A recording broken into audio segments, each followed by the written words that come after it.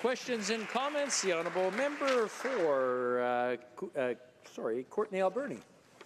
Speaker, um, in my riding in Courtenay Alberni, we, we have a disproportionate amount of elderly women that are living in poverty, women that are going to the food bank for the first time, pensioners uh, that are struggling to make ends meet. They, they, can't even afford to buy medicine.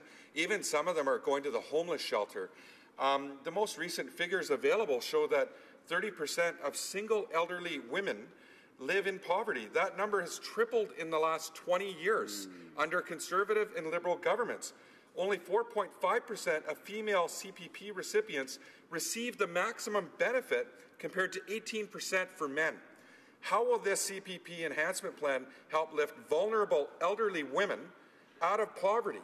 And in our communities where we're having this homeless problem, we're not getting the support we need for homeless shelters. And we need beds. So if the member could help address, uh, answer the question, that would be greatly appreciated by the people in my community. The Honourable Minister.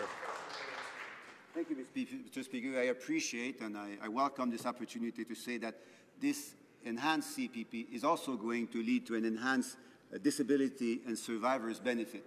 We know uh, how difficult some of our senior women find themselves when they become widows, and when they find themselves both in economic and social insecurity.